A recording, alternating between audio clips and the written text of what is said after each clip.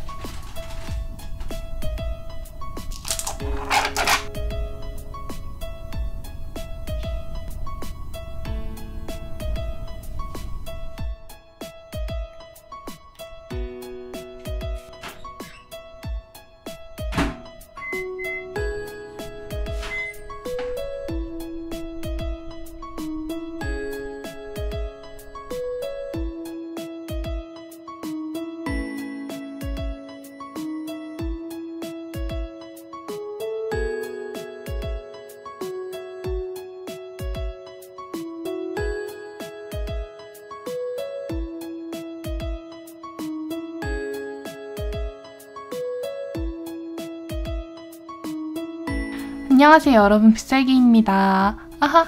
오늘 먹을 음식은 여러 가지 편의점 음식들을 준비해봤는데요. 오늘은 특별히 빨간색 편의점 음식들을 준비해봤어요. 요거는 프링글스 과자, 신라면 컵라면, 열떡볶이, 사천 짜파게티, 딸기 우유, 콜라, 훈제 치킨, 핫바, 닭발, 삼각김밥, 물티저스 초콜릿, 김치, 자몽에이드까지 와 종류가 너무 많아서 다 먹을 수 있을지 모르겠어요. 그럼 오늘도 맛있게 먹어볼게요. 잘 먹겠습니다.